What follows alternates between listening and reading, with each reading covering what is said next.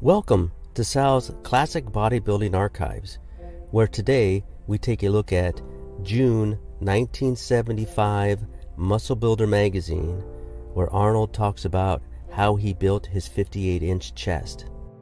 Today's episode will be a summarized reading of the article. I will include screen grabs at the end of this video so you can read the entire article on your own.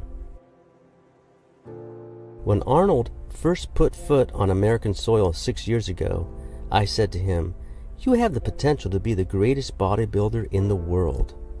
I brought you here because I want to work with you, expose you to my principles, ones developed by the Weider Research Clinic, and together we can help you build muscle never before dreamed possible for any man. Training still excites Arnold. When he was in Germany, he was bombing his pecs in a regular manner, concentrating mainly on size, giving no thought to muscle priority and its eventual outcome that was to make one of his main stocks in the trade, his pectorals, split like a stock in a bull market. The split I am speaking of is that line that slices across his pectoral to separate the upper pec from the lower pec. From a wide, smooth surface, when at ease, Arnold's pecs will leap into a double feature when he flexes. When you apply certain training techniques to a muscle, you can make it react in ways beyond belief, and it will work for anybody. Arnold brought up an interesting verification of this. I don't think development has much to do with natural potential or structure. He declares as an afterthought of his initial years in the game. In Germany, all the guys had high biceps because we all trained the same. We all had weak triceps too because we didn't know how to train them like the biceps. The same thing happened with the chest. Our pecs were broad and thick, but entirely smooth from ascending flat bench presses with heavy weights.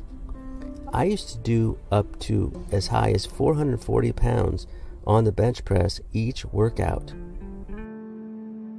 When Arnold arrived in this country, his pecs were wide and smooth as he had just described them. I said to him then, Do you realize your chest hasn't come near its real potential? Do you know you can make your pectoral split just like the split that occurs in the biceps from specific intense priority training?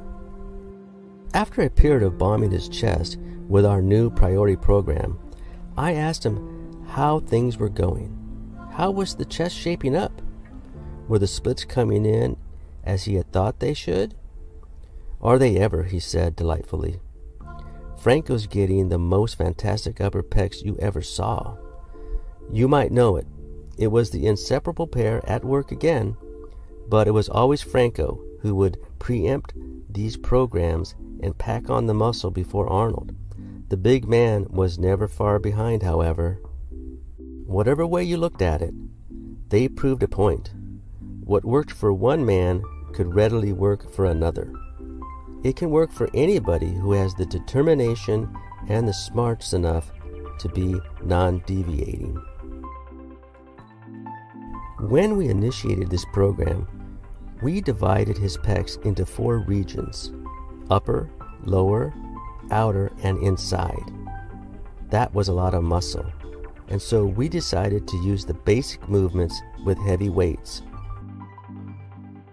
As you know, the use of heavy weights is relative depending on angles of movement and length of leverage. Whatever it was, for Arnold, we pushed the resistance to the limit, made him work hard always. We decided on three basic exercises in the following order 1. Incline press, 2. Bench press, 3. Flat flies. Since certain exercises may affect individual differences differently, I have asked Arnold to describe his way of doing them in the heaviest, most comfortable, safest manner. Yes, Joe, at the start, I take a good warm up with a light barbell on the incline press. I do 20 to 30 reps, enough to get the heat in there. For me, the medium wide grip is best. It permits my forearms to remain vertical throughout the pressing motion. This takes the stress off the elbow. There's no time for chronic elbow aches. Since I am fresh, the upper pecs start exploding as soon as I complete my first heavy set of inclines. As we discussed it, Joe, the flat bench press struck the lower pec more than the upper pec. I didn't lock my elbows at the top like you suggested, so we kept the movement from being a lockout tricep exercise. Also, the pecs would relax in a lockout, something we didn't want them to do. The flat flies with dumbbells really did the job for my outside pecs. I did them with my arms slightly bent to release the stress on my elbows. Near the top, I did not bang the dumbbells together. Instead, I stopped them at a point where they were about a foot apart. As we know, this kept the tension on the pecs instead of releasing it by letting the dumbbells flop inward past the vertical. I fought gravity all the way. For a while, we had almost decided to let the middle pec go. It was energy consuming and maybe not all that important on top of the three hard main exercises. As a particular contest time crept up, we were both getting nervous. I know what, Joe, said Arnold. I can use the pulleys for front crossovers. It's leverage work and light comparatively. This low priority exercise, done close to contest time, provided maximum gain. Remember one point hold each crossover position of a repetition for a long count. Nearing the end of this breakdown on Arnold's pec program, I remembered the idea of doing opposing exercises along with pec movements, in other words, supersets. I love the way that works, Arnold commented.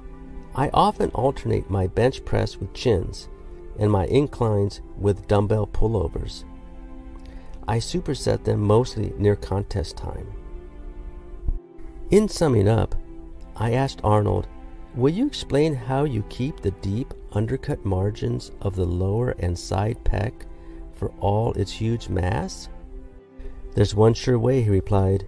Do your abdominal work, burn off the fat, and diet. There it is, Arnold's pec program. Try the great Mr. Olympia's way. We think anyone can get